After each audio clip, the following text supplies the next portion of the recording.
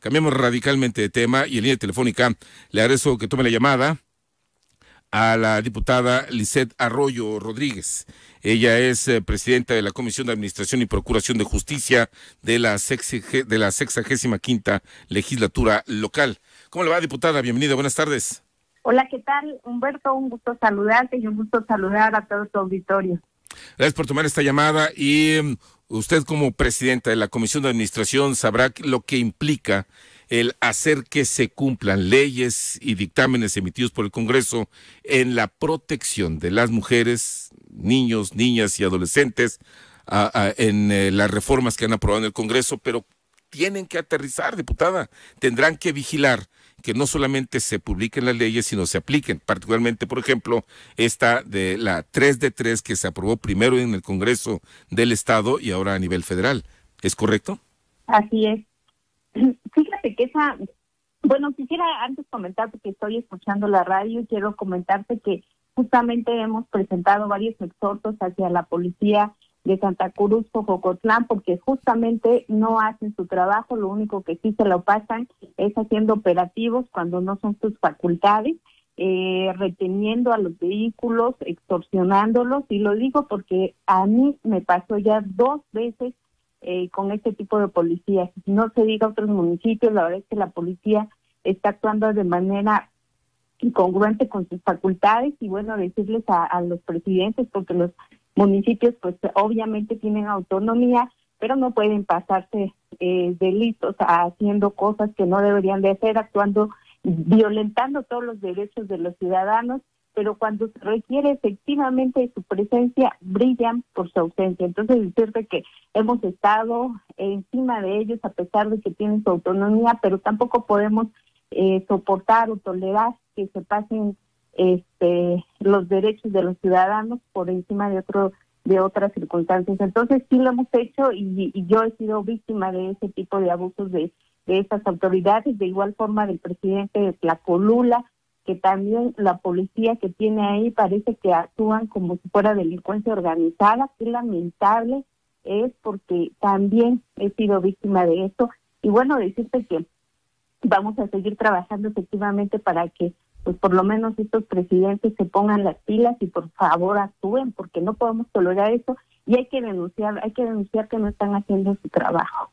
Ahora que ahora que usted lo menciona, eh, la mayor cantidad de publicaciones que he leído y quejas abiertas, denuncias concretas, es eh, con la Policía Municipal de Santa Cruz a Milpas, Policía Vial, que monta retenes, exige el pago de tenencias, digo, como si fuera su facultad, pero además se les ha explicado de manera reiterada que el Congreso del Estado emitió sendos exhortos para que dejen de detener unidades con cualquier pretexto de falta administrativa y parece que no sé si lo hacen de burla o sencillamente no tienen ningún respeto a los exhortos emitidos por el Congreso.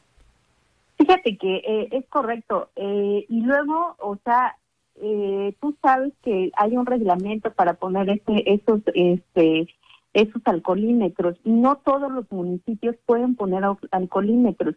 Ellos asumen que es una de sus facultades poner alcoholímetros y es donde pasan parejo, barran parejo.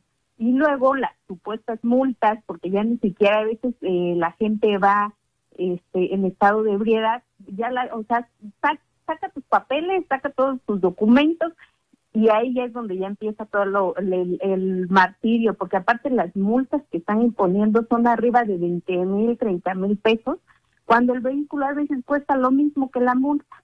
Y hemos estado haciendo exhortos, también ya fue dirigido un en este municipio porque efectivamente a nosotros nos llegan todas esas quejas, hay veces por las facultades que ellos tienen, por la autonomía que ellos tienen, nosotros no podemos hacer gran, gran cosa, pero sí hemos estado exhortándolos de manera permanente porque efectivamente están violentando todos los derechos de los ciudadanos que pasan por esas este por esos retenes ya no sé cómo llamarles porque pues no hay eh, una denominación porque ellos no están autorizados para hacerlo. Entonces yo creo que sí es importante que haya una intervención del gobierno del estado pues para que mande a llamarlos y, les ponga ya un alto porque no es posible que los ciudadanos hay gente que vive con un salario mínimo cómo crees que va a ir a pagar una este multa de alrededor de 10 mil, 15 mil, 20 mil, 30 mil pesos. O sea, eso no, no, no, no debería de seguir haciendo, pasando esto en Oaxaca, pero lamentablemente tenemos autoridades que no se ponen las pilas y que actúan bajo sus intereses, ¿verdad? Bueno, Diputada, el tema que hoy nos eh, convoca era precisamente el de la aplicación de la norma jurídica en la protección de los derechos de mujeres, niñas y adolescentes. Hoy me parece que este tema es relevante. Si le parece, eh, buscaremos alguna manera de platicar con usted después sobre esta aplicación en Oaxaca de la ley 3 de 3. Déjeme redondear el tema de lo que estamos hablando. Eh, cuando el Congreso del Estado publicó una ley para exigir que se, bueno, para decretar que se impide la retención de documentos como licencia o placas para garantizar el pago de mm, las multas, parece que tendrán que hacer otra para impedir que los ayuntamientos retengan unidades y utilicen grúas con las que tienen convenios para llenar los corralones. Y luego sucede lo que lo que pasó aquí en la ciudad de Oaxaca o incendios en otros corralones en donde todos pierden y nadie gana, mucho menos el Estado. Así es. Fíjate que yo pienso, y es algo que muy acertadamente dijiste ahorita que estabas dando tu noticia, es de que las leyes no se cumplen. Es que ahí es donde tenemos que atacar porque legislación tenemos y creo que somos una de las legislaciones que más avanzado tiene el tema pero no la cumplen. Yo creo que yo yo considero que sí deberíamos eh, eh, ya poner sanciones a estos actos o que la gente lo denuncie, porque a veces en muchas ocasiones, este Humberto, lo que pasa es de que no se denuncian estos actos de extorsión, este tipo de abusos de, de autoridad que tienen esta estas este, diferentes municipios de dentro de sus este, mandos policíacos y entonces eh, ahí es donde nosotros generamos el problema. Nosotros como ciudadanos al no denunciar, al no hacer efectiva nuestra eh, la ley que, que nos rige y por eso yo creo que hay más omisiones porque de verdad que déjame decirte que nuestros estados a mí de manera muy particular me han invitado a diferentes congresos en diferentes estados cuando nosotros ya tenemos legislación ellos apenas están en un proceso de presentar la iniciativa, de generar las mesas de, de trabajo para poder aterrizar esas iniciativas. Cuando nosotros en Oaxaca ya estamos incluso ya viendo otras otros avances en nuestra legislación. Entonces yo creo que lo que deberíamos hacer ya es implementar una sanción o, definitivamente eh, la, yo siempre he pensado Humberto que la unidad entre el pueblo de Oaxaca tiene que permanecer independientemente a los intereses que tengamos cada uno, porque no podemos permitir que se violente así los derechos de todos. Y la verdad es que se genera un tráfico y no somos uno, no somos dos, somos infinidad de oaxaqueños que sufrimos lo mismo todos los días.